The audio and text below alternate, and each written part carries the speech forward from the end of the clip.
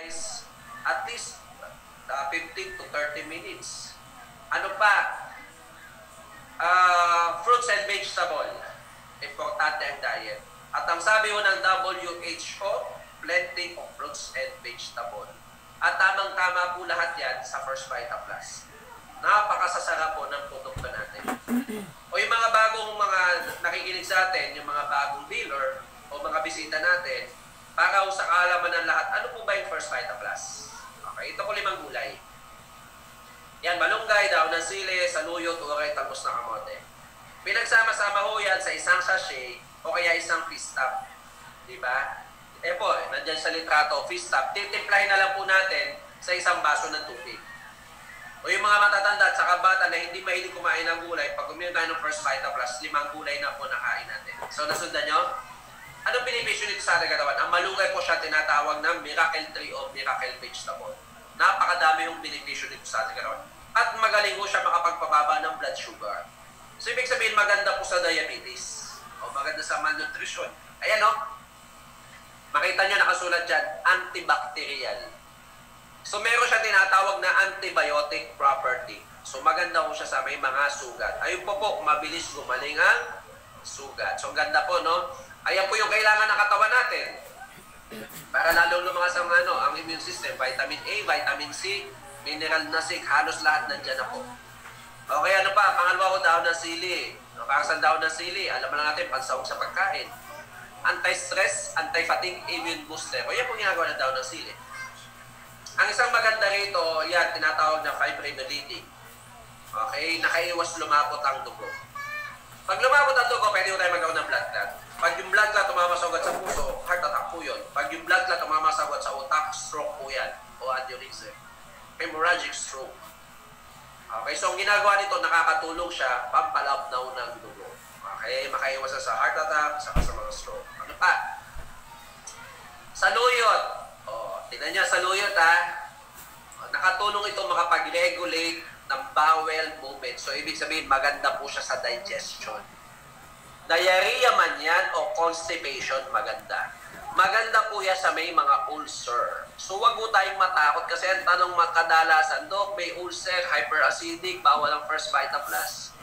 Kasi ang iniisip po nila, yung dalandan, yung pineapple, maasim. Pero yan po, oh. Diba? Yung gulay na laman ng First Vita Plus, yan po yung nakakatulong doon sa mga sakit natin.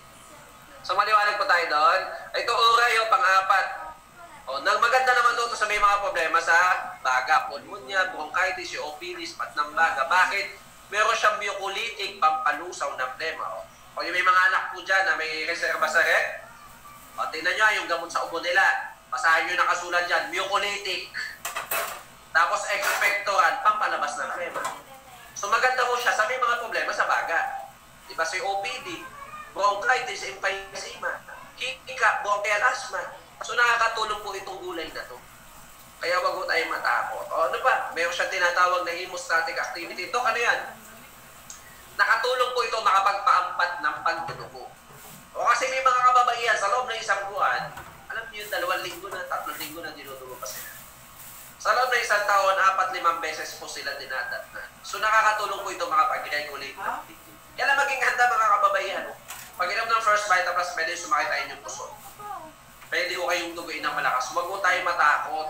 Diba? Kasi lahat ng herbal, dumadapo tayo sa tinatawag nating detoxification o healing crisis. Tuloy-tuloy lang po natin ang pag-inom. Kung isang beses ka na uminom, yung dalawa. Kung dalawa kayo mo tatlo, apat, lima, kahit gaano kadami pa pwede, bakit wala po tayong overdose? So maliwanag po, nasundan po tayo doon. At ang palima naman po, talbos na kamote. O, linawin ko ha, pampataas po ito ng pulang dugo. So ibig sabihin, maganda po siya sa may mga anemia. Okay? O mababa ang pulang dugo. Siya lang din ang halaman na may iodine. So ibig sabihin po niyan, maganda po ito sa may mga goiter, hyperthyroid ka man o hypothyroid, maganda po ang first Vita Plus. So maliwanag po, Ayan o, maganda rin po siya sa may mga dengue. O, yun, nakasulat, platelet. O, naalala nyo kanina?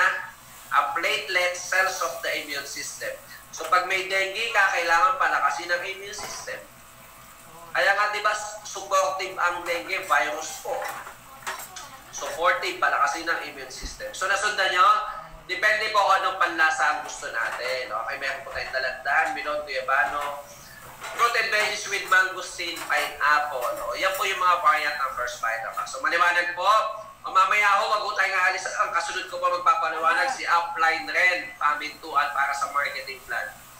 At wag po tayo naalis. After po ni Ren, may motivational talk po tayo and training sa ating number one network builder na si Upline James Lintao. Kumusta po yung mga taga-norte ngayon, ang mga nakikinig sa atin? Okay, kaway-kaway po. Andiyan po si Upline Jeff at si Upline Jen Oliva. Kumusta po tayo dyan? Okay? Ano pa? Balik po tayo, no? Ito ayoko ng juice eh. Ayoko ng juice, gusto ko kape. O meron po tayong kape. Kapeng malamig. O na pwede. O smoothie. Ayan po yan. Limang kulay, dinagdagan po ng coenzyme Q. Additional na benepisyo, maganda sa may mga sakit sa puso, migraine, headache, uh, myopathy, cancer. Myopathy, sakit ng mga kasukasuan. Neuropathy, ganun din. Polyneuropathy. Okay, so maganda yung mga ugat-ugat, yan, maganda po siya. Bukod po dito sa kapeng ito, may lalabas pa po tayo ngayong August 34 in 1 na coffee po. Okay, so napakaganda po. Ayan, i-apply. Okay, ano pa? O yung mga nagda-diet sa atin, bye-bye all self. Di ba, slimming milk smoothie. Limang kulay, dinagdagan po ito ng L-carnitine with green tea. Okay, additional po, infertility sa mga kalalakihan, fatty acid metabolism, cardiovascular disease, atherosclerosis, ito po yung tumitigas yung ating ugat dahil napupuno po yung loob ng excess na cholesterol. Okay, kaya mag-ingat din po tayo dyan. Diabetes, HIV, AIDS, nagdadialysis. So maganda rin po ito. So maliwanag po, madami pa po. Meron din po tayong yan. Lalo na ngayon may promo po. Congratulations po kay Ma'am Patita. So, pag bumili po tayo ng P-Solution, meron po tayong booster pack. Dalawang melon, isang guyabano. Okay? O lahat po nakikinig sa atin ha. May promo po ang P-Solution ngayon. So pag nagbili po tayo ng power pack ng P-Sol, may kasama po itong booster. Dalawang melon, isang guyabano po. So maliwanag po. Ito po, limang kulay plus glutathione. Napakasarap po nito. Okay, maganda po siya sa ating booties, maganda rin po sa liver. Okay, meron pa po tayong mga gold line. Yan, uh, guyabano gold, dalandan gold, and melon gold. At ito po yung kanina pinag-usapan natin, platinum line. Okay, at meron din po tayong titanium line. O ito pong watermelon na titanium, maganda po ito, lalo na sa may mga problema sa prostate. Okay, maganda po ito sa daloy ng dugo. O, yan o, number one, improve sa ating circulation. Kaya siya po ang tinatawag na number two, ayun o, natural aphrodisiac. Kaya yung mga nakikinig sa atin ngayon ng mga kalalakihan, napakaganda po nito sa ating katawan. Kasi baka mamaya meron dito mga kalalakihan, alam niyo yun? Yung mga kalalakihan na mukha na lang ang nagagalit sa kanila. Yung kanilang paninindigan, wala na. Alam niyo kung ano tawag sa kanila? Magalang na po sila. Kaya kung lalaki ang katabi mo, tanungin mo kung magalang siya. Okay? So napakaganda po nitong watermelon. Okay, ano pa po? Ayan po yung ating combo na ano, booster pack. O yung booster pack, ayan po yung ating fruity. O yung ating titanium na booster pack pala, nandyan din po. Okay? At yung ating ano, yung forte, nandyan din po yung ating forte na bago na titanium. So nasundan nyo?